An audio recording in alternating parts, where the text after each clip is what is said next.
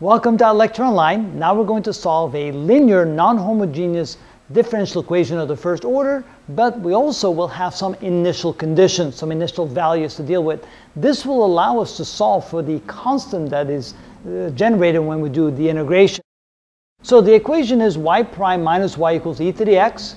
The general form of the equation look like this. So this looks like it's already in the general form, and this is the general solution of the first order uh, non-homogeneous equation. Now notice that h is equal to the integral of f dx, where f is the, the um, function in front of the y. In this case, the function would be minus 1. So let's go ahead and write those down.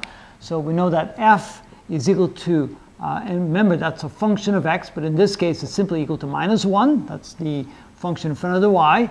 r, in this case, which is also a function of x, is equal to e to the x.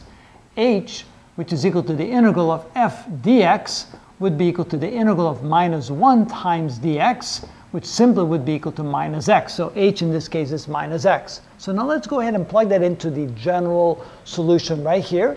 So we have y is equal to e to the minus h, and since h is minus x, that would be e to the x, times the integral of e to the h, that would be e to the minus x, times r, r is e to the x, and we need a dx plus a constant of integration.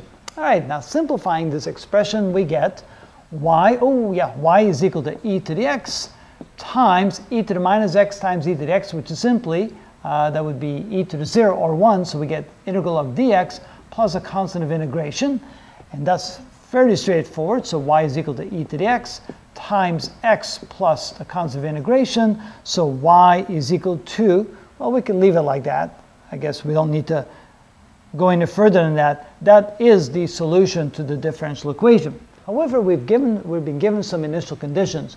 We know that when x is equal to 1, y is equal to 0. So what this means is that y, when x is equal to 1, is equal to 0. So what that means is we can plug in 0 for y, so that would be equal to e to the x when x is equal to 1, so e to the 1 times 1 plus c. And so we have 0 is equal to, that would be, um, well, we can divide both sides by e, so we can say 1 plus c, or c is equal to minus 1. So from this, we discovered that c is equal to minus 1. So when I plug that back in here, the equation then becomes y is equal to e to the x times x minus 1. And that would then be the solution to the differential equation with the initial condition that when x is equal to 1, y is equal to 0.